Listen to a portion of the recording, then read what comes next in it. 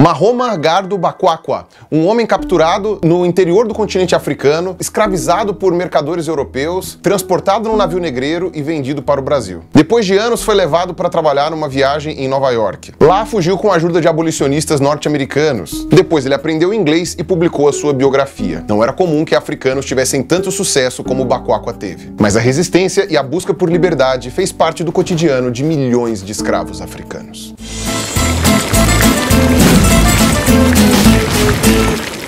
A resistência à escravização começava na África, onde os capturados frequentemente tentavam fugas e revoltas, e continuava nos navios negreiros. Exemplo disso foi o navio La Amistad, que em 1839 transportava clandestinamente pessoas para vender em Cuba, mas que foram frustrados por uma rebelião.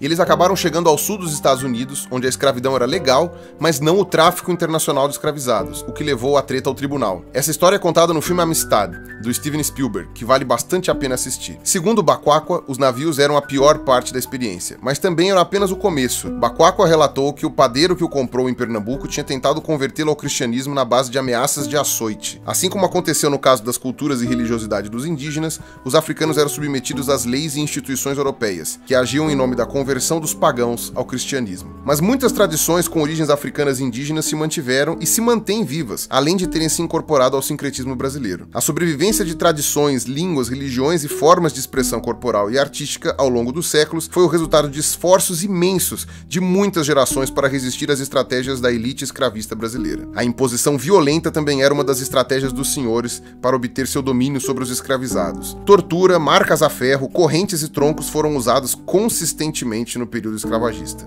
É algo da natureza da escravidão. Enquanto no trabalho assalariado trabalha-se para não ficar sem grana, na sociedade escravista trabalha-se para não ser torturado ou mesmo assassinado. A ameaça de violência era a base do funcionamento do sistema escravista. A violência não era a única forma de controle no sistema escravocrata. Ela convivia com estratégias, negociações e promessas de liberdade. Bacuacua conta que se esforçou ao máximo para mostrar serviço aos seus senhores e também para aprender coisas que tornavam seu trabalho melhor, tipo a língua portuguesa.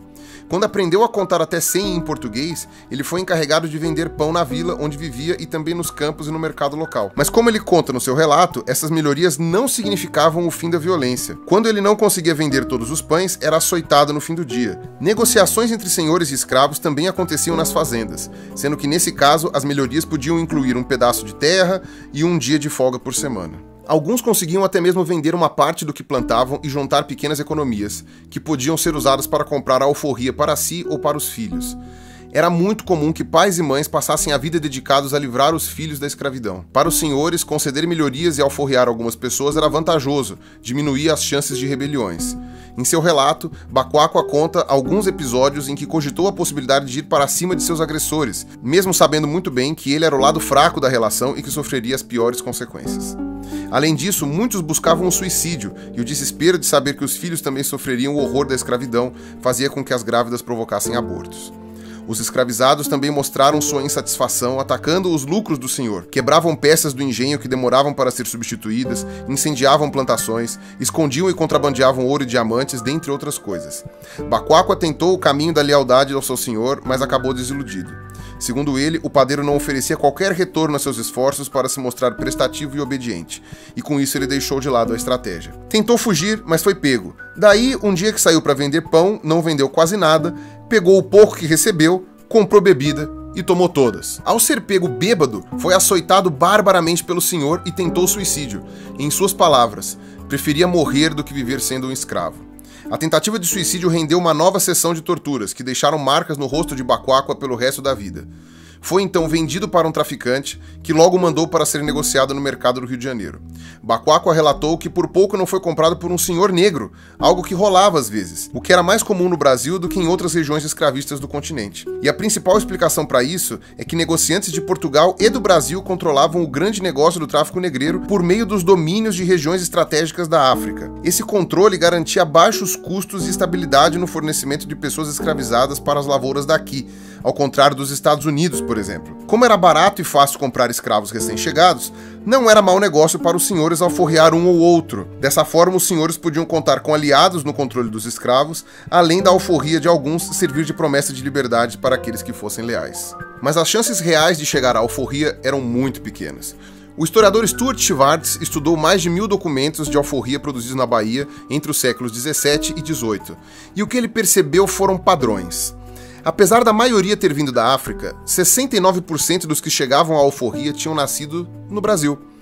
Quanto mais se distanciavam de suas origens, mais tinham acesso às brechas do sistema.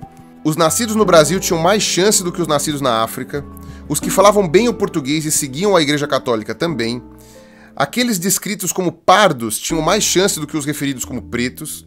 Os que trabalhavam na Casa Grande, servindo a família do senhor, tinham mais chances do que os que trabalhavam nas plantações. E apesar da grande maioria das pessoas trazidas ser homens, libertavam duas vezes mais mulheres. Mas o terror também era grande para elas, e muitas alforrias dadas a mulheres e a crianças eram na verdade consequências da violência sexual dos senhores. De acordo com as leis escravistas de todo o continente, o que definia se uma criança era livre ou escrava era a condição da mãe. Então, mesmo os filhos bastardos dos senhores nasciam escravos. Essas diferenças de tratamento por parte dos senhores criavam hierarquias e rivalidades entre os escravizados. Por exemplo, entre nascidos no Brasil e nascidos na África, ou entre os que trabalhavam nas plantações e os que serviam a família do senhor na Casa Grande. Como a gente viu no relato de Baquáqua, o tráfico negreiro separava pessoas que tinham origens e culturas em comum exatamente para dificultar a união entre os escravizados. E no interior dos engenhos, o tratamento desigual também servia para reforçar essa desunião. Os escravizados geralmente não eram um grupo uniforme e unido, mas sim pessoas muito diferentes entre si, cuidando do seu seu lado, fosse conquistando pequenas melhorias no dia a dia, fosse pela obtenção de um documento de alforria, fosse pela fuga para um quilombo, fosse pelo assassinato do feitor. Mas para entender melhor isso, no próximo vídeo a gente vai conhecer a história do maior quilombo da história do Brasil, Palmares, que só foi destruído depois de um século de tentativas por parte das duas maiores potências militares do mundo na época, Portugal e Holanda. Beleza? Então eu vejo vocês na continuação dessa série, tá certo? Obrigado para vocês que assistiram até aqui. Novamente eu tô aqui é, fazendo meu, a minha ajuda aqui, a minha colaboração junto com o pessoal do Revisão. Se inscrevam no canal, acompanhem todas as mídias sociais, Facebook, Instagram, Twitter, tá? Tanto o canal Revisão quanto o meu canal, se vocês quiserem.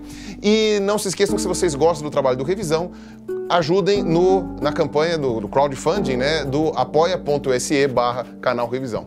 Beleza? Então é isso aí, a gente se vê na continuação dessa série. Um abraço, até mais.